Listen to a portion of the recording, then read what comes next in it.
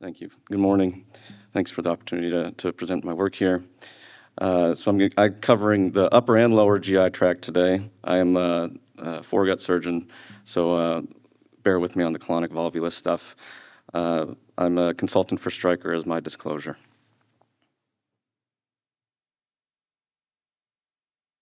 Start with gastric volvulus. Uh, there's a couple ways it can happen, primarily uh, in kind of elderly patients with uh, ligamentous um, laxity that can allow the stomach to twist on itself, but more commonly we see it in secondary, usually paraesophageal hernias, big paraesophageal hernias with, uh, or diaphragmatic hernias with stomach in the chest. Uh, you have a couple planes on which you can rotate, either the organoaxial plane or the mesenteroaxial plane, uh, or you can have a combined.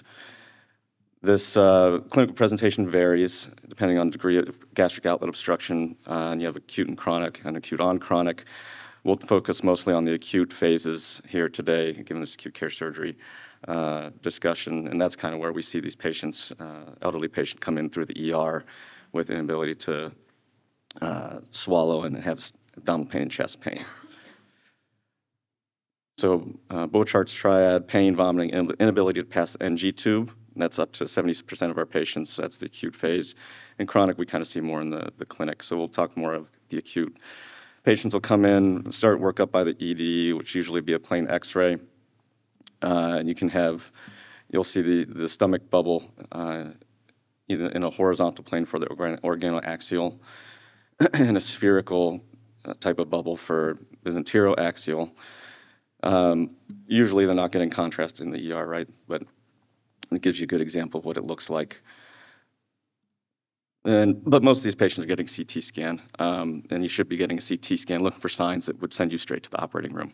So free air perforation, pneumatosis, ischemia. Uh, often we'll see these big stomachs in the chest, and you're looking for pneumatosis or any signs of perforation uh, and patient instability that would send you to the OR. So the treatment is first resuscitation, IV fluids. Uh, be careful in the elderly patients with heart failure. Uh, just be gentle, rehydration, electrolyte uh, abnormality correction.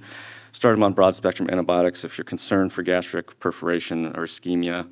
Uh, and in the uncontrolled sepsis or unstable patient, when you're during, doing this resuscitation, you got to go to the OR. But in many of these, we can start with decompression plus or minus detorsion. That's NG tube. And what we care about here today is, is endoscopy. And we'll talk briefly about definitive repair in a, in a bit. So the when, where, how. And for these volvulus, the gastric volvulus patients, um, I recommend general anesthesia, airway protection. These people are coming in vomiting, gastric outlet obstruction. So either in your endo suite or OR, but, but with breathing tube in place. And endoscopy is a temporizing measure. Um, this is really to get you to the point where you can do definitive therapy, and it may also be the only way the NG tube can successfully be placed. So when you're doing the endoscopy, I'll talk uh, next about the alpha loop maneuver, but your key really is find the antrum, find the duo. If you can get there, then you can often, you'll often see the stomach detorse itself uh, without too many uh, difficult maneuvers. You may need a pediatric scope and be prepared to, you know, if the once you start retroflexing, you can kind of push against that greater curve of the stomach, can push it out of the chest a little bit. Um, and basically, I don't have any good videos of this because when this happens, it's usually off hours and we don't have uh, the capabilities of taking videos, but you'll end up with tight holes that you got to get through and then once it you feel it detorse, you'll come back and it just looks kind of like a normal stomach and expect a little more pressure than a normal endoscopy as you're kind of doing these maneuvers. So the alpha loop, and this is a, a great paper by uh, Dr. Ujiki, um, you pass the scope through the volvulus, again, find the antrum, find the duodenum, you withdraw from that spot once you've got the anatomy identified, readvance after forming your loop through that volvulized portion, and then as you uh, pull back the scope and torque clockwise, it uncoils the loop and uncoils the stomach. And at the, that time, you can also place an NG tube, allow for decompression, and it gives you some time to, to think and react. Uh, so this is a uh, um, great diagram from that paper. What we're really worried about here, so if, if you've got any evidence of ischemia, uncontrolled sepsis, you're going to the OR. But the, a lot of patients we can get through these temporizing measures. You start with urgent upper endoscopy and reduction in place of an NG tube. If they're um, very elderly, uh, not good surgical candidates, you consider PEG or gastropexy. But uh, the overall goal is to reduction, reduction of the stomach, uh, resect portions if needed. If it's a paraesophageal hernia, fix that paraesophageal hernia. Um, and then you can use potentially advanced endoscopic and laparoscopic uh, combination procedure to try to fix the stomach in, in the correct location.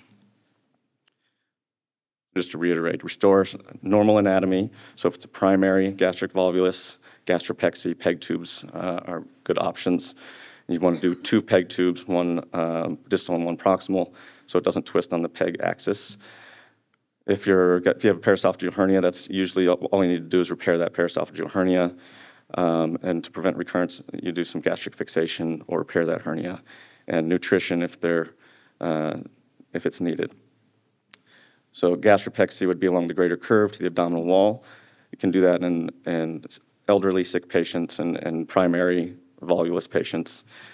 Um, and you can do, for really high risk, you talk about the PEG tube um, as a resource to do a, a, proximal and distal PEG, one the gastric body, one the distal stomach, um, so the stomach can't rotate around it.